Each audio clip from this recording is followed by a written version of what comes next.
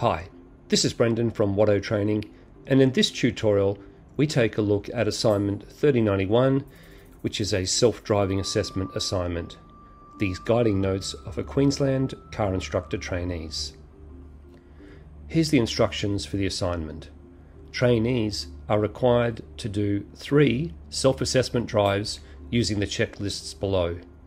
Then in the final part of the assessment, there are some self-reflection questions to answer. This assignment is designed to assess your own operational skills and hazard recognition and response skills in a range of situations and a variety of speed zones. You may identify strengths and areas of improvement, but either way, your own driving skills, road rule understanding and application, as well as attitudes, is a vital part of your instructional technique. Please aim for a drive of approximately 30 minutes for each of the self assessments. Please read the QSafe manual, pages 44 to 64, to assist you with your understanding of the assessment criteria used in Queensland by driving examiners. This is the self rating scale that trainee car instructors are required to use for the self assessment assignment. The rating scale goes from 5 at the top, which is an excellent performance, down to 4, very good performance, 3 is good, 2 is weak or less than acceptable, and 1 is unacceptable or poor. So, training instructors are required to rate their driving performance using one of those numbers in the table that's provided. This is the first part of each self assessment drive that training instructors are required to complete. If you run your eyes down the left column, you'll see that the day is required, the date, the start and finish time of the drive, the total number of minutes of driving, the weather conditions on the day, the traffic conditions, the type of vehicle that you're driving, the make of the vehicle, and its transmission, whether it's automatic or manual, for example. Then some self assessment questions such as Have I had an adequate rest? Am I under the legal BAC limit? And am I in a fit state of mind? So, what we're trying to do here is just get some context for the drive and again, just some self checking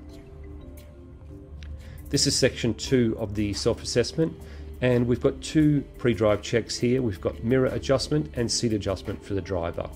So the driver would complete the 30 minute minimum drive and then at the end of the time would rate their performance from 1 through to 5. This is section 3 of the self-assessment. It's looking at vehicle operation skills. It includes clutch control, accelerator, gears, steering control and steering operation, braking and road position.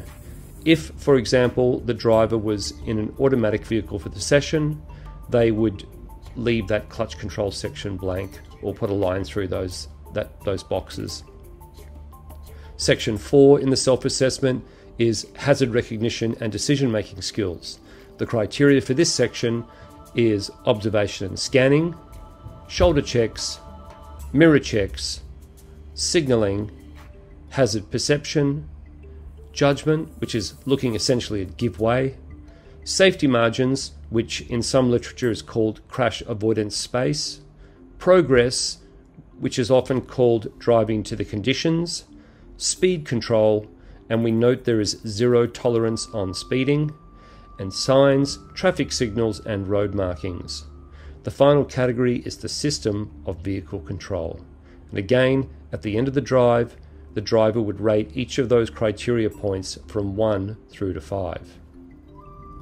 This is section 5 in the self assessment report, and the title is Specific Driving Situations Covered in the Drive.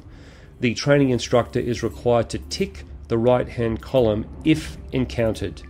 If the situation was not encountered, then the training instructor would not tick the box. So we've got lane driving, such as lane change, driving up hills, driving down hills, curves and bends, merging and diverging. We've got intersections, this includes roundabouts, left turns, right turns, direction markings, direction signs, stop signs, stop lines, and also give way signs and give way lines. We've got to look at the traffic density when we drive, so this is high density traffic and low density traffic. And finally, crossings such as pedestrian crossings, children's crossings, and level crossings. It's always good when you're conducting a self assessment to get a nice uh, array of situations to you know, have a broad view of a driving performance. This is section six of the self assessment. And now what we're looking at is sharing the road with other road users. So thinking about the other road users that might be out on the road when we're going for a drive. So we've got motorcycles, heavy vehicles, buses, bicycle riders, scooters, e-bikes, pedestrians, trams, emergency vehicles and animals. Again, tick the box on the right hand side if encountered on the drive. Now we move on to the post-drive reflection, section 7. Question 1. What are three positives from my drive?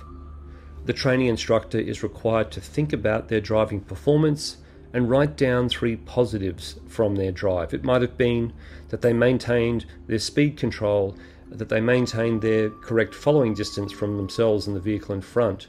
There might have been a tricky situation that they encountered safely.